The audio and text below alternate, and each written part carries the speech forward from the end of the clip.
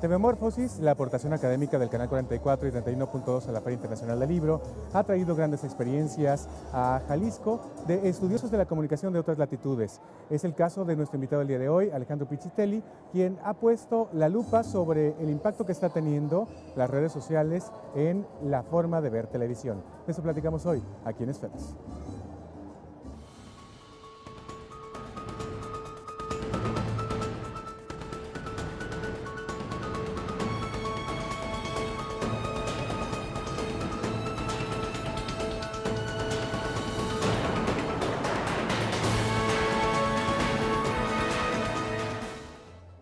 Sí, hay muy pocas investigaciones respecto a las redes sociales, dado que son un fenómeno muy reciente. Las redes sociales en nuestra región, su uso se han vuelto masivos, sin embargo, no hay una gran cantidad de académicos que se están dedicando a ponerle la lupa a las redes sociales y por eso es un gusto platicar en esta ocasión aquí en Esferas con Alejandro Pizzitelli, a quien le damos la bienvenida a este programa. ¿Cómo está Alejandro?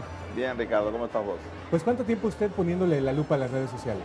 Bueno, vivimos en las redes sociales ahora. Eh, de hecho, el caso que estabas comentando vos, que es el de Facebook, es una plataforma, algo que, que ya emerge en el año 2006, ya tiene cinco años, y si bien yo la conocía o, tenía, estaba declarado dentro, no la usaba mucho. Pero a principios del año 2009, en ese momento ya había eh, más de 100 millones de personas en Facebook en el mundo, eh, mucho menos en América Latina. En ese momento en América Latina, tanto en México, en Argentina, no había más de 30, 40 mil personas por país. Eh, ahí se nos ocurrió que estaba pasando algo, era algo así como una especie de un emergente, era algo raro. Eh, siempre estas grandes plataformas llamaron la atención, ¿no? Cuando aparece Google, uno dice el mundo antes de Google, después de Google, ¿no? Es decir, cuando aparece Amazon también. Pero en el caso de Facebook era diferente. Facebook de alguna manera eh, retomaba experiencias que la gente había tenido en redes sociales anteriores menos conocidas. en Argentina había una muy importante que se llamaba Fotolog. Em, los adolescentes.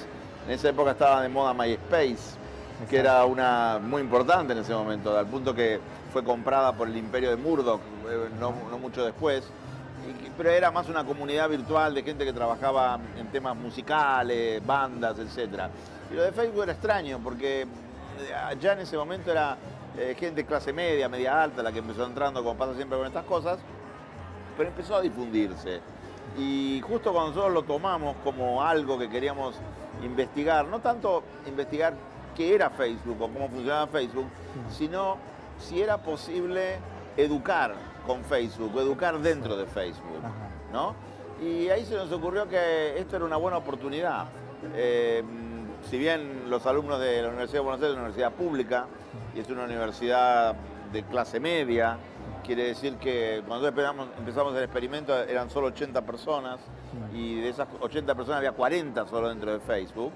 Eh, ¿qué pasa si nosotros en vez de dar una clase como damos siempre en la clase, ¿no? física, una clase teórica, clase práctica, lo que hacemos es eh, traer a todos los alumnos y meterlos dentro de Facebook? Esa fue la hipótesis de trabajo. ¿Y qué ponían? ¿Estados? Ponían eh, ligas a sitios? ¿Qué ponían? En no, nosotros lo que, lo que hicimos ahí, eh, eh, decidimos, bueno, porque era, después de todo era una cuestión más o menos académica, era una clase universitaria. Entonces, bueno, ¿qué vamos a hacer con los alumnos dentro de Facebook? Bueno, vamos a hacer que ellos investiguen algunas propiedades de Facebook, algunas cosas que se pueden dar dentro de Facebook, como por ejemplo la identidad. ¿Cómo se crea identidad digital estando en Facebook? Es lo mismo ser hombre, mujer, ser chico, ser grande, ser mexicano, ser norteamericano. No, bueno, ¿qué pasa con la creación de identidad dentro de Facebook?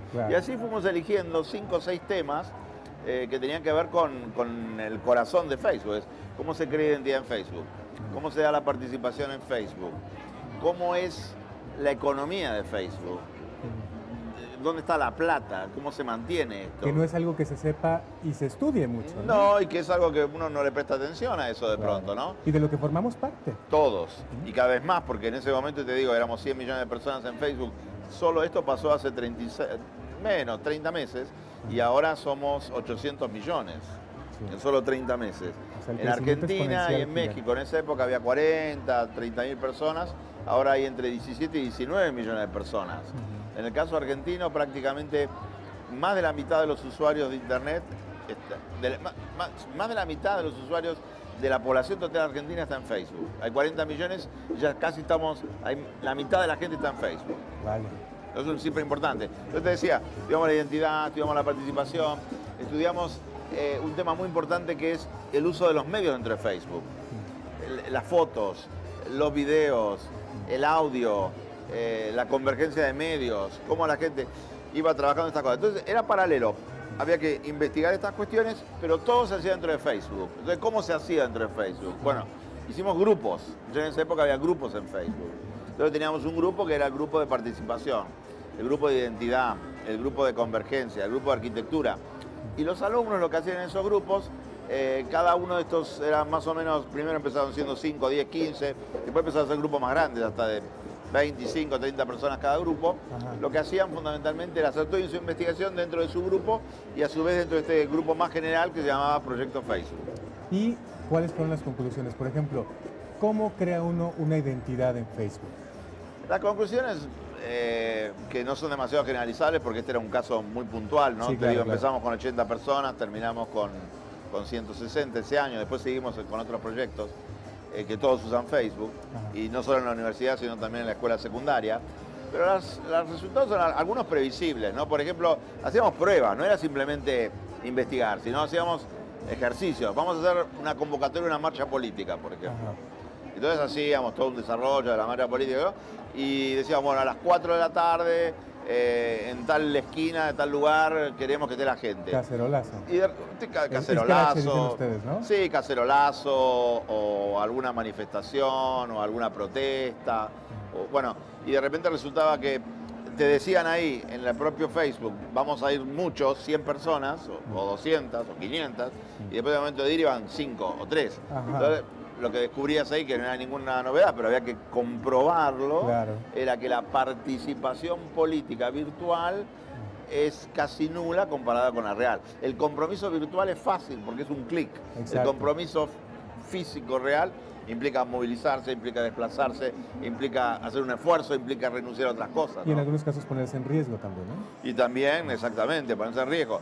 En este caso político, pero en muchos otros también la posibilidad del riesgo del, ruido que tiene la vida real. ¿no? Exacto. Déjame hacer una pausa, eh, Alejandro Pichitri, y regresamos para seguir platicando acerca de esto que ustedes investigaron desde Facebook y en Facebook. Vamos a una pausa y seguimos platicando con él para que nos platique ahora de la economía, de la arquitectura y de otras cosas que tienen que ver con esa red social que hoy muchos usamos.